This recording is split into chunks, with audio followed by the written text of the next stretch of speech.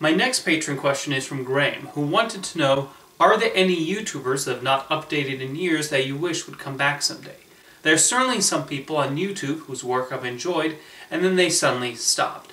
Now, it should be noted that people have lives outside of YouTube, and there are probably a number of personal and valid reasons why they have not uploaded something in a while, and it's none of our business to pry or to pester them. Let's be honest, a lot has happened over the last two years. Anyone I mention in this video, I'm not demanding them to return to YouTube. This is more so a list of YouTube channels whose videos I've enjoyed in the past and who have not uploaded in a long time and you should still seek out. Someone I mentioned in one of my shoutout specials is Pixie Blossom. She did reviews of various things like animated shows and movies, but has not uploaded a video in three years. I really liked her personality as well as the insight she brought to her reviews. Someone else I recommended in a shoutout special and then never made another video after I released that one was CinemaStock. He only released five videos, and I thought they were fantastic analysis on box office and the film industry. I thought he displayed a really smart and funny take on things, and his editing also showed a lot of creativity. And then he just stopped. I was looking forward to what future videos he would make on the subject.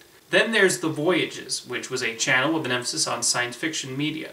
He did excellent videos about WALL-E and The Last Jedi and Guardians of the Galaxy.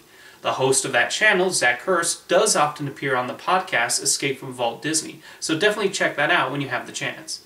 The fourth and final person I previously gave a shout out to was PKMX, a channel that discussed a lot of subjects. He talked about things like video games and entertainment and local Irish culture, and did it in a way that was very entertaining.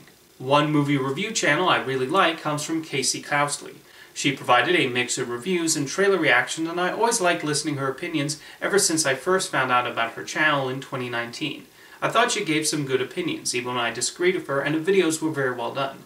Next are a couple of YouTube channels with puppet hosts. Glove and Boots is a hilarious channel hosted by two puppets named Mario and Fafa. They were so imaginative and cleverly written, and these characters have so much personality. While they did eventually pivot towards making their content more family-friendly because of COPPA, the videos still remained enjoyable. Unless something happens, it seems Glove and Boots is done for good, which is a shame, but I hope the creators are out there working on something just as fun. The other delightful puppet-based channel is Norman Tweeter. They would do things like comedic sketches, comical reviews, and video game playthroughs, and I did get plenty of laughs watching them. The banter between the hosts was often amusing, and a good time was had. Like I said at the beginning, there's absolutely nothing wrong with any of these channels taking a break or not uploading. You often see comments about YouTube channels where people ask why they disappeared in a rude manner. Unless they come right out and say it, we don't know why they stopped uploading, and frankly, it's none of our business. Some choose to keep the videos up so we can continue to revisit and enjoy them. Others decide to take all of them down, and that's okay too.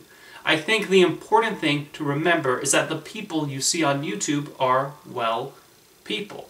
Them uploading videos onto this platform is just one part of their personality, and unless they somehow make a career out of it, they're not indebted to it. And even if they do somehow earn a living from YouTube, they should also have the freedom to stop when they feel the time is right.